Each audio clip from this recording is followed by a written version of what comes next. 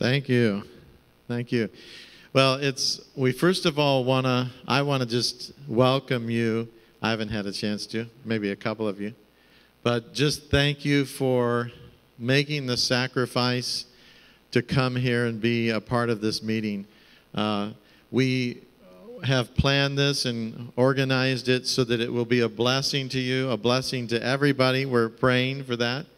And uh, whether you are a film producer or a script writer or a translator or a cultural advisor, whatever you are, you have a part to play in what we're talking about in these next two days.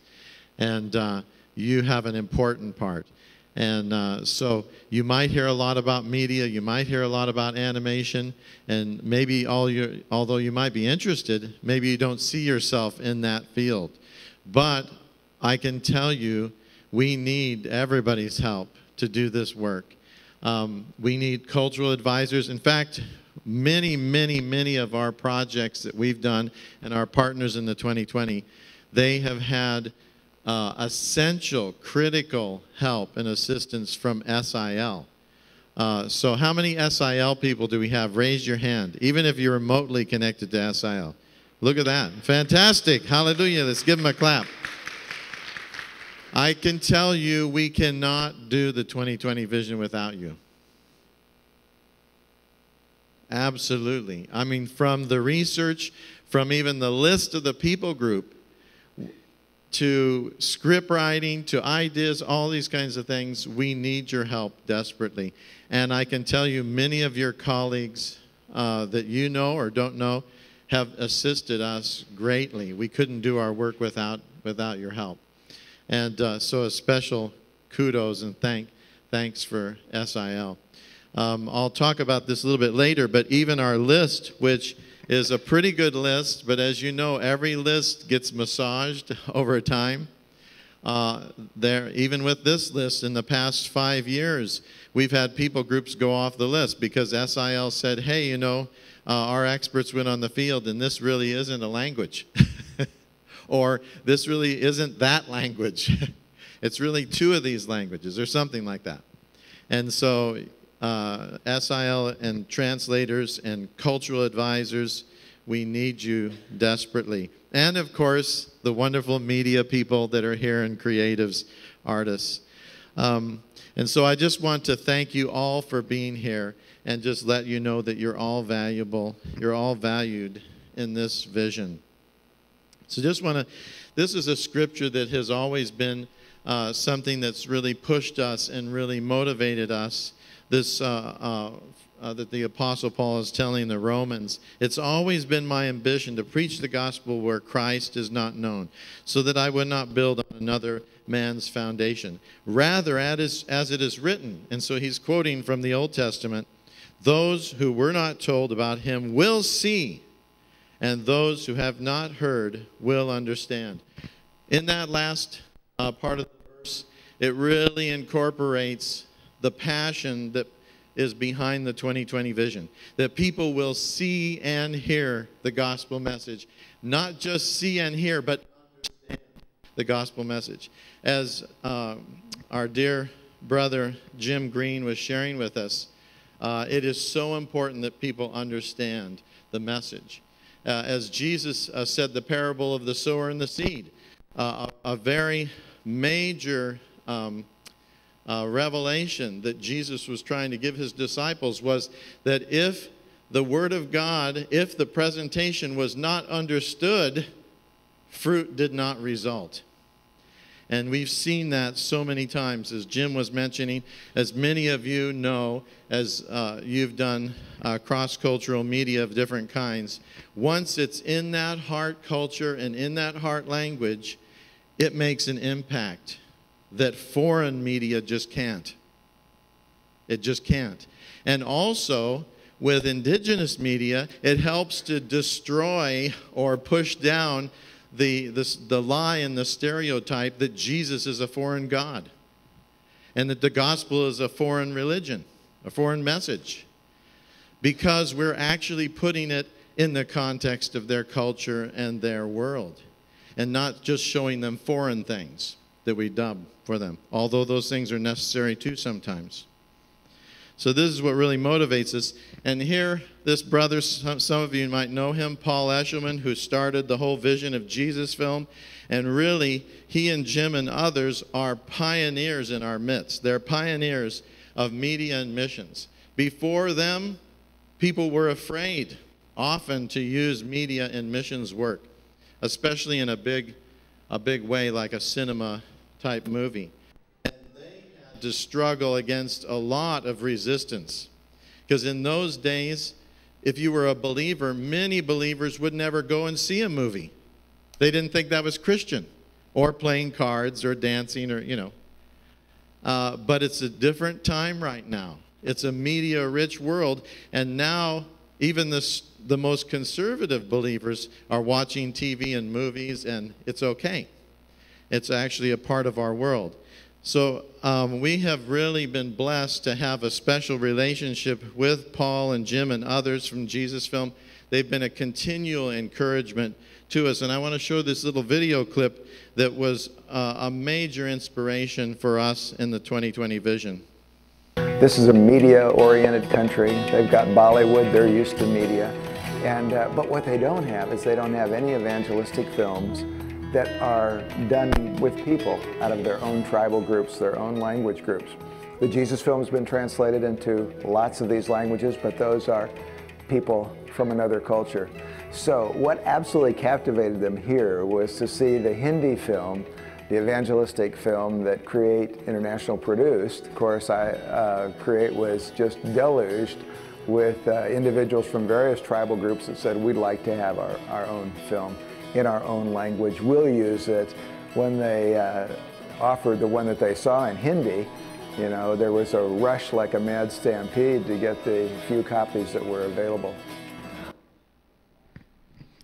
I love that one. I think we actually charged 50 rupees or something like that for it, too, and uh, people went crazy for that. Uh, but this is this kind of thing, and and leaders in the media and missions world encouraging us really has has uh, put a lot of uh, strength and passion behind this vision. So again, this is the the mission statement of the 2020 vision. And actually, this whole 2020 vision started five years ago in Japan at a conference. And we just had, we, we decided for the first time to get together media people in one room and say, what can we actually do to directly affect reaching the, the least reached? And a, all of them that were there had been involved in doing in-house things, movies, promotional things, you know, all of that. But they really wanted to come together as a community of creative people and, and have an impact directly. And so we started praying and we started planning. And that was, and the result of that was the 2020 uh, vision. We have this uh, short video I want to show you that explains the 2020 vision a bit more.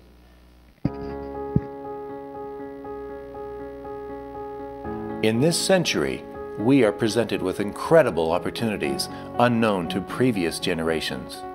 How will we utilize new art forms, media, and technology to advance the cause of reaching the last unreached people? The vast majority of unreached people are oral learners. Imagine compelling evangelistic movies, art, and animation being made for specific unreached people. Gospel media in their heart languages with their own people, using stories they can relate to. Indigenous audiovisual gospel presentations are media that combines visual and audio arts with a culturally relevant presentation of the good news in a heart language and style that is relevant to a people. The least evangelized mega people groups amount to 75% of all unreached people. It's been 2,000 years. We've gone from preach where we've added the ability to print, and now we live in the age of portrait. So we are a part of the generation who is able to communicate Christ and His kingdom in a way that is captivating, it's engaging, it's visual. The least reached peoples, the most isolated peoples increasingly are having some access to media. And so it's our opportunity to take media to them, creating content with and for and by the people that we will be reaching. We've seen indigenous media created, and we just need others who can join in and help us finish this very significant task. The goal of the 2020 vision is to see indigenous audiovisual gospel presentations produced for the largest and least reached people groups by the year 2020. This is our opportunity as an arts and media community of believers to have a tremendous impact on the unreached peoples of the world. For the 2020 vision to be fully realized, partnerships of skilled individuals, churches, and mission agencies are needed to form teams. Why not give some of your time and use your skills and resources to help meet the tremendous needs of unreached people so that all may clearly see, understand, and embrace the gospel as their own? Together with God, let's create new communication tools that will bring salvation and transformation to all peoples.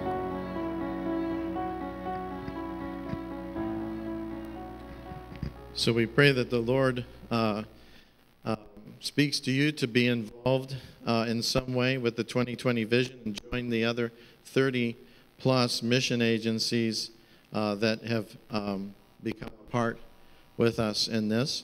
And um, the, just to explain the idea of the 2020 vision, it's two kind of things. One is, of course, the ultimate goal by the year 2020. We want to have this accomplished, but also it's about people being able to clearly uh, understand the gospel message. So this is the sort of 2020 vision element of it. So we have we want them to have 2020 vision in in their in terms of their understanding of God's word. So we're committed to not only finishing it, but also to quality in that sense uh, that it's really touching the heart of the people. And as the uh, the movie, the presentation says, oops, sorry, I went forward a little too far. Yeah, is that because of the largeness of these major people groups, it covers, in terms of population, uh, over 75% of all unreached people. Okay, and so the idea of this is basically, I'm just throwing this out, but the idea of this was to get agencies doing one of these projects every year or every two years, and that over the period of 10 years, we would uh, have the goal accomplished. So this is my little plus thingy here. All right. So when we got together, we all sort of prayed and said, okay, well, what is going to need to happen for us to actually make uh, be successful with this vision? And the first step, of course, was the list, right? We need to identify the people groups that are without an indigenous presentation. And so uh, Todd Johnson and uh, David Barrett, have, have, anybody heard of Todd Johnson and David Barrett and the World Christian Encyclopedia work? Basically, their work on their database um, with Patrick Johnstone was the uh, core and the heart of all the databases that you see now that are being used by all these different organizations, Joshua Project, um, um, you know, IMB, all these different uh, organizations. And so uh, Todd Johnson, we have a very close relationship. He's sort of associate uh, with our ministry. And so he helps us keep the list very accurate and of course, when our people are doing field research, we send that back to him, and often that we make adjustments, especially with our relationship with SIL. So we're uh, we needed to have the list, and we needed to have someone to keep to to maintain that list, make sure it was accurate. So then, uh, identifying that list, all of you have a copy of this in your little manual there, plus um, or your booklet. Uh, plus, on the walls there, you'll see large versions of it that you can look at. Also, the, the 74 remaining groups that don't have a project initiated, that's in the yellow color. They're the ones that have names that are on the big map uh, on the floor back there that we'll be praying into. So each ministry and agency would adopt uh, people groups for production. That was one thing, and we taught, we prayed about what should be the process of this of adoption. It should be prayer, right? It should be God leading us, telling us that this is what He has for us as an organization. We need to look for partners. No one organization can do one of these projects. And that's part of the reason why we desired to give away the vision to the whole body of Christ, because it isn't just a create vision or a frontiers vision or a, you know, uh, you know, a Caleb project vision or whatever it might be. It is a, it is a body of Christ vision. It's that big. And so we need partnerships. So we've emphasized that. And then partnerships that result in production. Uh, two years ago, uh, this was a list of some of the people groups that were adopted by different organizations. Uh, and um, praise be to God, after a couple of years now, uh, all of these you see marked, highlighted there, uh, are either done or in the process of being done. Here's the second half of that list, and the, and the ones that uh, have been done or in the process of being done, which is quite amazing. And that's not everything that's been done, but that's just from that the, the groups that were attending the last VMSF. Okay, so they said we need a community website. We need something where we can uh, have all the information and the resources so we can share the vision. So we produced uh, a 2020 Vision website, which you can visit. It has a little thing that, a little countdown that's continually updated. It has uh, testimony videos uh, for you to be able to share the vision. And then it has, of course, uh, a description of the adoption process and other other things that are there. And I encourage you to take a look at it. Also has an interactive map where the people groups are and where what where they are in the process, if they're finished, if they're in process, and so forth. Uh, and that's kept updated. And as as you see here, if you hover over the dots, it actually gives you the name of the people group, its population, and if you if you select that, if you click on the dot, it will take you to a people profile that gives more information about that people group. So there's a heap of good uh, information on that website we've produced. Next, training. We talked about how we need to help people in the area of training.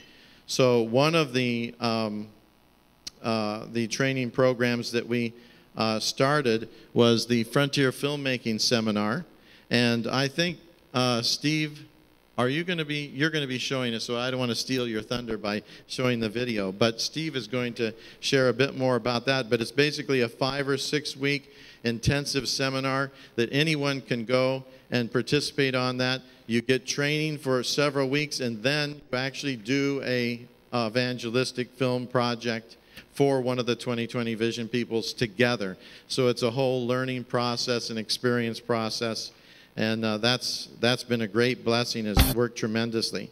Uh, next, to establish uh, somewhere where there'd be a clearinghouse for all these videos, you know, all these films and animations. How can people get a hold of them? We, we didn't want to just make these films and put them on a shelf. The idea is to get people sharing the gospel through these indigenous films with the people that they work for uh, or work with. So we started this um, uh, website called indigitube.tv. And now we have about 350 films and animations, all downloadable for free in two different formats on there and other resources as well. Then launching the 2020 vision, of course, and we, we did that uh, in 2010, a little bit later in 2010, but that's okay. Uh, and uh, at the end of the 2020 vision, I guess we're going to have a big party. and then and then that's when I'll share my next vision. No, I'm just um, I just say that for my staff to, so that they feel tired. And so some key elements in finishing this task are a passion and a determination, right? A passion for the people, having God's heart for these people. They're real people. They aren't just numbers. They're real people that don't know Jesus. Never giving up attitude. We have to have that, right? Yeah, I'm looking at all the producers and directors out there and other uh, creatives. You have to have an attitude of never giving up, believing that God wants this and that He's going to make it happen.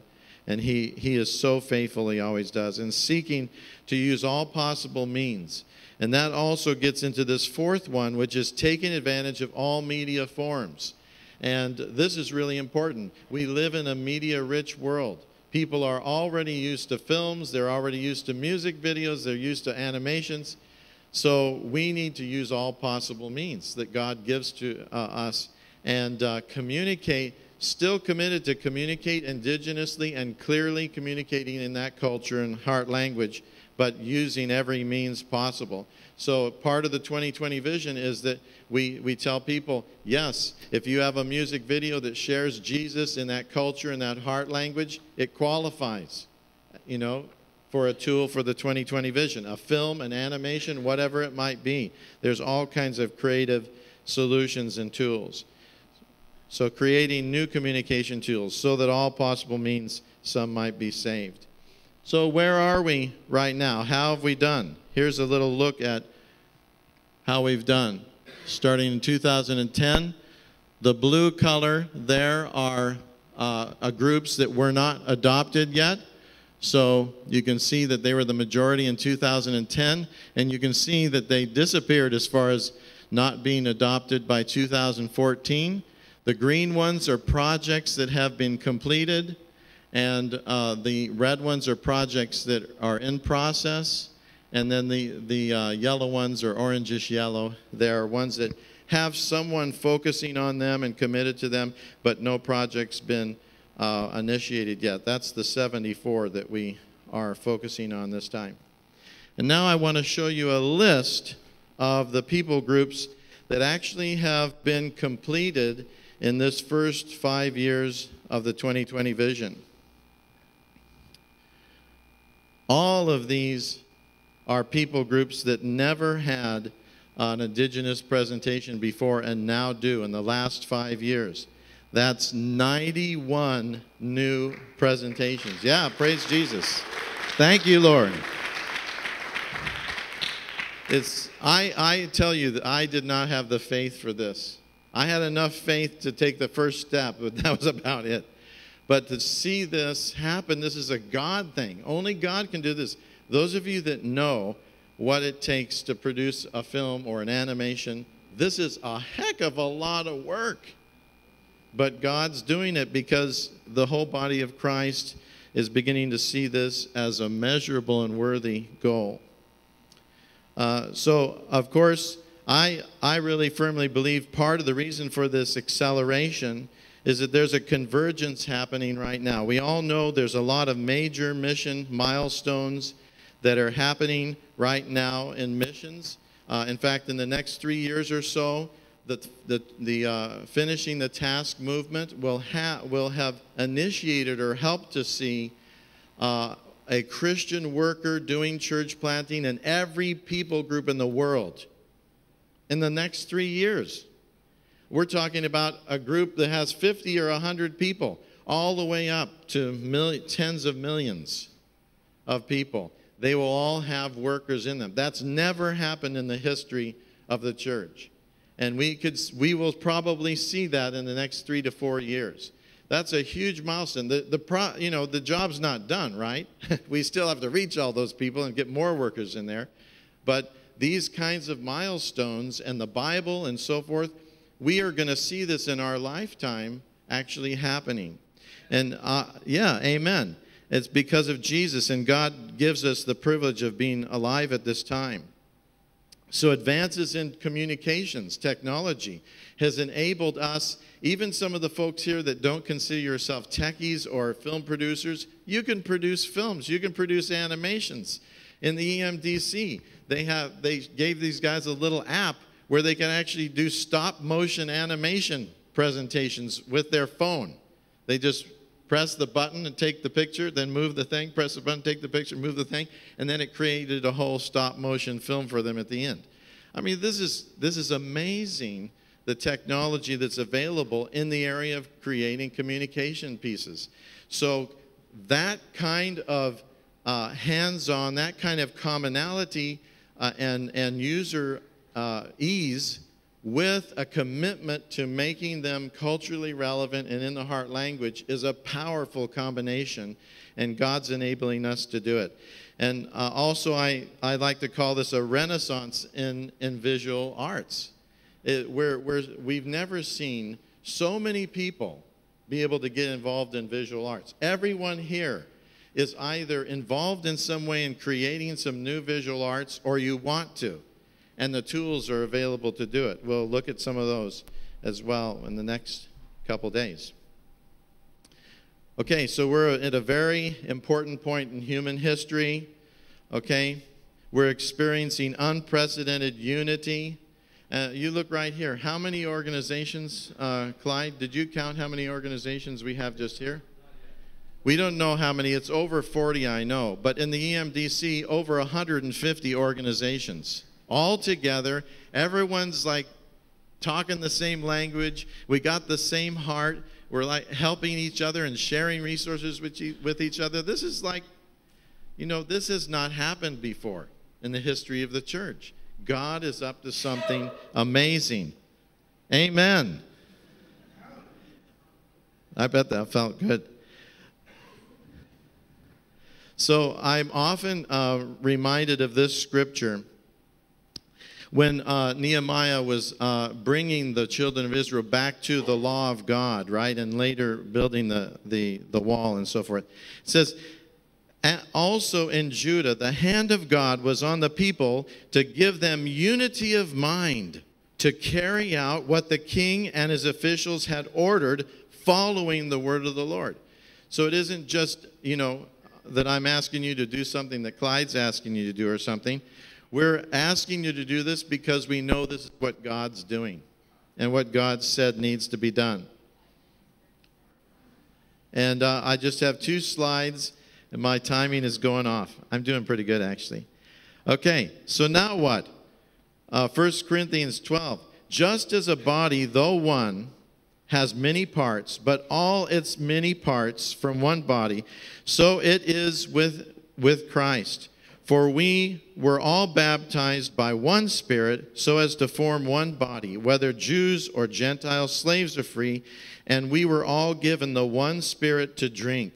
Even so, the body is not made up of one part, but of many. And as I said at the beginning of this, we need all of you, everyone here we need all of you to accomplish this important task. And I'm just ending with this slide. So, this is what we need to see 74 of these people groups, the ones that are in yellow, have no indigenous gospel film or animation or media piece. This is what we need to see. We need to see God move on our hearts together as a family, as a community, and, and commit to seeing these uh, dear ones have an opportunity to hear and see the gospel of Jesus, the love of God, in a way that makes sense to them and touches their heart and transforms their lives. And that's what this conference is, and the 2020 is all about.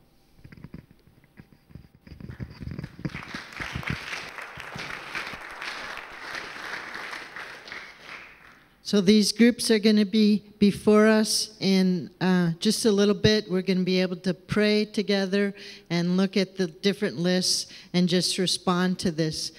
You know, all these presenters have to go fast, but you can see the emotion that we ha- we carry for these people, the lost people, and so there's probably a lot of time that we would need for question and answer, but we're going to try to keep moving in the program and we saw principles of unity, talked about partnership, and this afternoon we're going to share some case studies of partnerships. But we were really privileged to have Chuck still here with SIL, and he had very popular seminars. I think he got a repeat seminar. How many went to Chuck's seminar? Okay, about half the room. So he's going to do a